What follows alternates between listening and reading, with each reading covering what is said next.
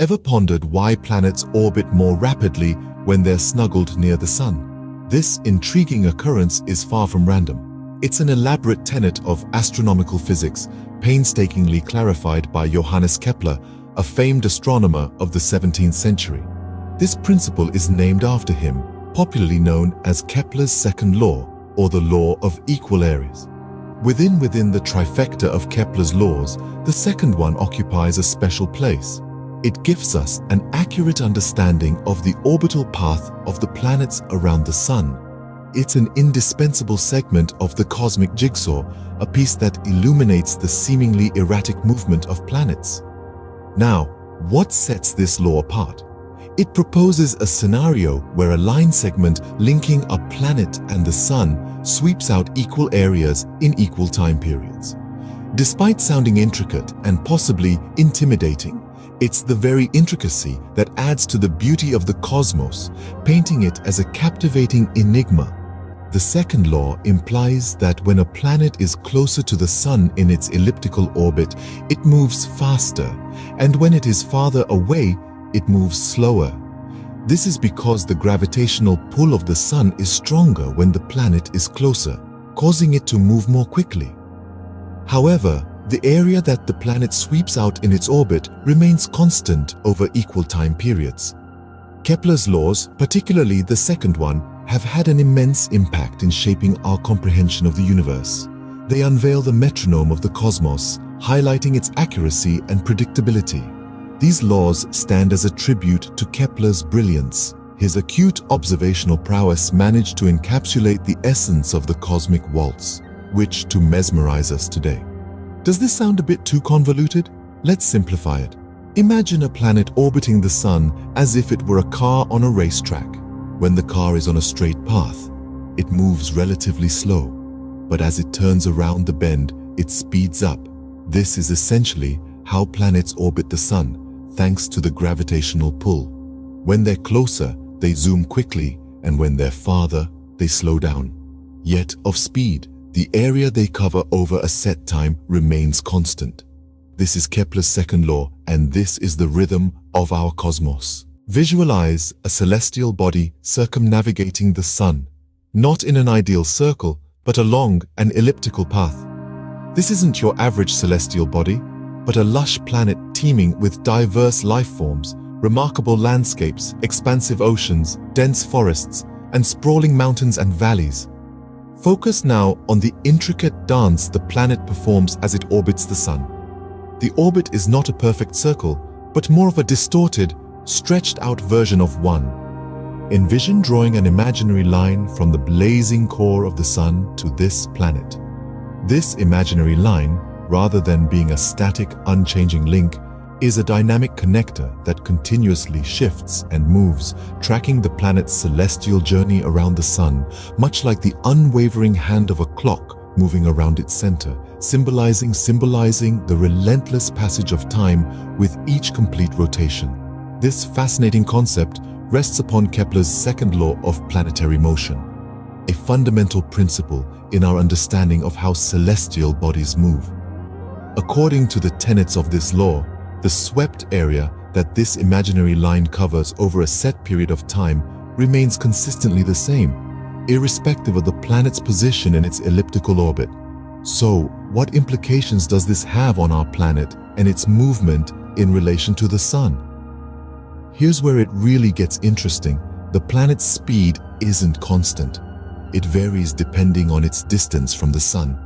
As the planet approaches the Sun, it gains momentum and travels at a heightened speed. On the other hand, as it moves further away from the sun, it loses some of this momentum and accordingly decreases its speed. This fluctuation in speed or this is what ensures that the swept area remains constant. When the planet is closer to the sun, its increased speed allows it to cover more distance in the same amount of time and therefore sweep the same area as when it's further away but moving slower. This is a testament to the balance and harmony of our universe, a delicate equilibrium maintained by this incredible law. This continuous oscillation in speed is what allows the swept area of our planet's orbit to remain constant.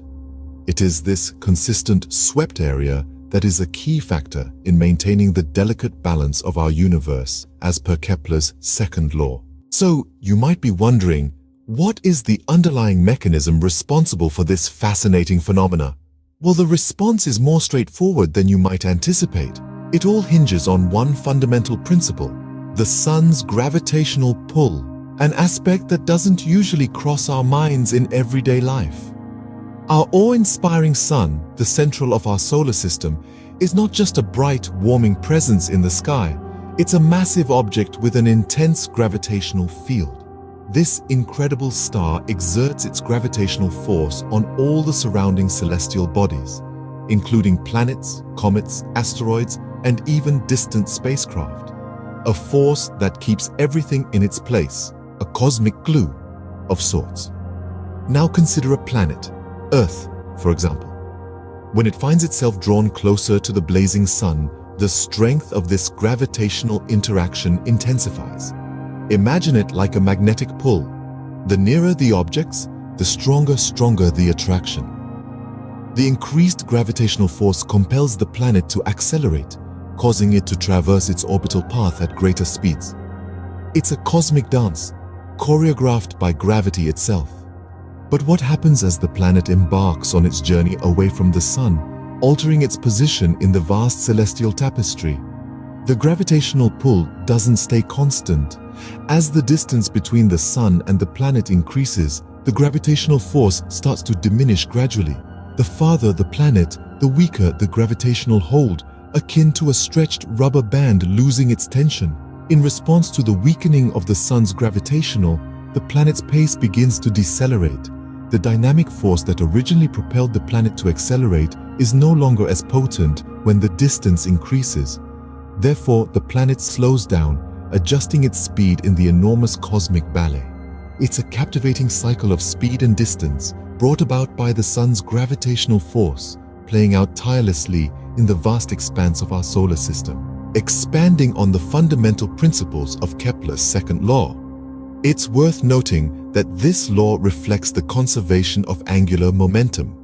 This means that the planet's speed changes based on its distance from the sun as a result of the balance between its gravitational attraction and its desire to move in a straight line.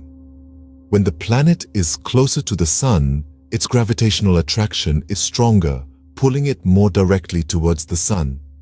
As a result, the planet moves faster to maintain its orbit without plummeting into the sun. Contrarily, when the planet is further from the sun, the gravitational pull decreases. This distance allows the planet to attempt to move in a straight line, which results in a slower orbit speed. However, the sun's gravity still prevents it from shooting off into space. This balance between the desire to move in a straight line and the sun's gravitational pull is what controls the speed of a planet in its orbit. At the same time, the law posits that the line joining the planet and the sun sweeps out equal areas in equal times. So when the planet is further from the sun and moving slower, it covers a larger radial distance, but a smaller arc. Conversely, when it is closer and moving faster, it covers a smaller radial distance, but a larger arc. In essence, Kepler's second law is a meticulous commentary on the complex ballet of celestial mechanics, underscoring the effect of varying gravitational pull on the speed of a planet as it orbits the Kepler's second law is a fundamental principle that helps astronomers understand and predict the movement of planets. It's a testament to the beauty and precision of the natural world, where even the vast and complex motion of celestial bodies follows a set of simple, elegant rules. So, the next time you look up at the night sky, remember, there's a lot more going on than meets the eye.